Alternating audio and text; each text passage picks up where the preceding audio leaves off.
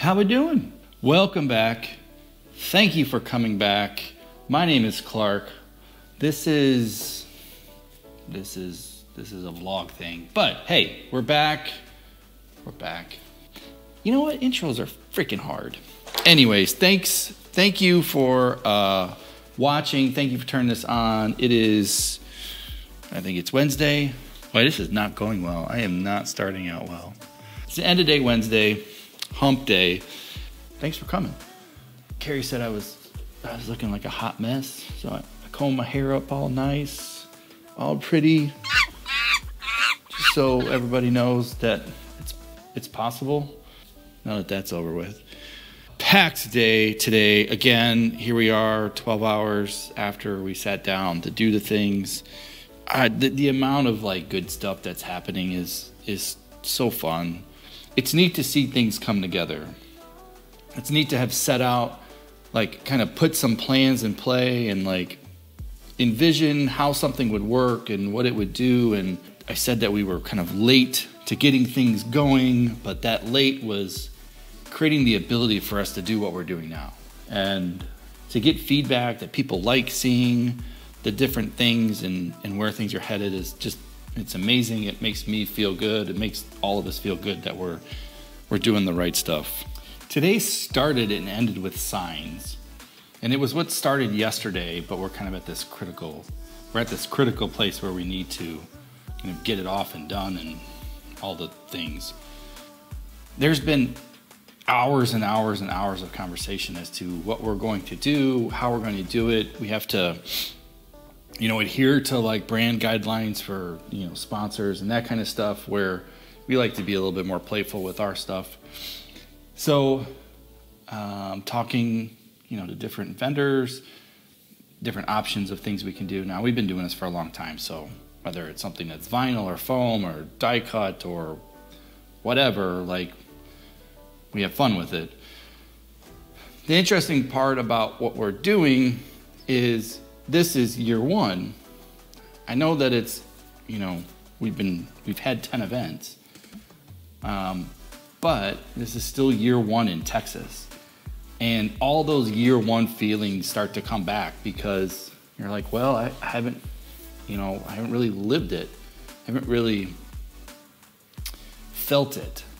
Um, yes, we've been there, but we haven't felt it. And I think part of the pedigree to who we are in Wisconsin is we've really melded that place into our thing. I know where all this stuff is at. I know their plans, our plans. I know how people flow throughout the place, whether they're guests or us, uh, staff, cook staff, wait staff. Um, we know it in and out, and we play off of that, which is which is neat because um, we try to use it to everybody's advantage, right? In Texas, we just don't know the place. So I think back to year one of, of that conference and I think of how scrappy we were, you know, the things that we made and why we made them, not just because of cost, well, mostly because of cost, but but it was super scrappy. How could you take a thing and kind of get the biggest bang for it, whether that's eyeballs or um, people commenting or, or, enjoying it or um, whatever. All, whatever. How do you get the biggest bang for your buck? And when we think about Texas, the place is just huge.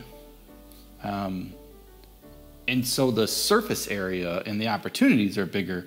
So when you're talking about something like signs, which cost many thousands of dollars, um, and as things get larger, right, bigger windows or flags or whatever, um, you know, the price obviously increases. Now you have your bang for your buck is you know, like, what what is it really? Does it is it worth it? Maybe I don't know, right? We haven't lived it. We don't. We haven't. We haven't really felt it yet. And I think where we landed come the end of the day was we're going to go scrappy. We're going to go back to those year one roots and that year one feeling because the reality is we haven't succeeded yet. Now, I'm confident that we will, but you know, we are taking less sponsors because it's new. Um, now, that may seem like an oddball thing to do, but I want them to have their best time. Um, and I don't want to, you know, I don't want to necessarily manage 30, 35, 40 sponsors. I want the ones who want to like set the stage for us for the years to come. Um, so we'll, you know, we'll only have a few or a handful. I don't know you know, we're not going to have 1,800 people, which is great. So we're going to have a smaller set of people. So how do we have fun with the smaller set? Hence that year one vibe and kind of play to that and that intimacy, if you will, um, for the future. Uh, it's funny because that's where the day started, talking to folks about pricing and cut times and or cut times, pricing and things that we would make and how much it cost trying to get within budget of what we want to do, and then ended with, okay, well, we got to have the final list of the things to go do. Um, and I guess I, I bring it up because, okay, signs aren't very, whatever. In the grand scheme of things, like you may be sitting there going, Clark, I don't really give a shit. Like signs are cool, great, get them done, print them, be out. But I, I think about other things when we build products and we do things and you have to make decisions and and it, it all matters right it all it all has drives a behavior or feeling feeling or something in the grand scheme of things and um, those those little details do matter so we need to be mindful of that not just from a you know cost perspective but you know from the time somebody gets out of their car and walks through or meets meets somebody you know the check in like all of those things matter and we play a role in that, right? The Kalahari, in some regards, represents us. We represent them. You know, together we want everybody to have like this just amazing experience and to continue to come back. So, signs like that's that was today. I mean, I mean there was a bunch of what what else did we do? Let's see, litany of email and meetings and features outreach, found another place that's blocking the dot .us domain.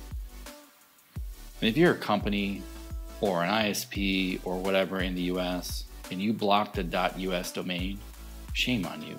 It annoys the living shit out of me. And you may be sitting there thinking, really, that's kind of bold. But when like the local ISP is blocking the United States domain, what? Like, come on. So that's Wednesday. That's hump day we got an event coming up on the 15th. That's, I think, next Wednesday. So you better come join us. It's free, it doesn't cost you anything. It completely change your life. So, with that, I'm out. Like, I appreciate the comments. Subscribe, like, bells, create an account on that.us. But I truly do appreciate the fact that there are people watching and watching to the end that you text me, that you hit us up in Slack or in text messages, and um, and yeah, I appreciate it. So this morning, so there's 225 tickets to sell. We sold one. One brick got laid. 224 more to go. So with that, I'm out. It's like 6:30. I need to eat some food. I need to edit this, and I'll see you tomorrow.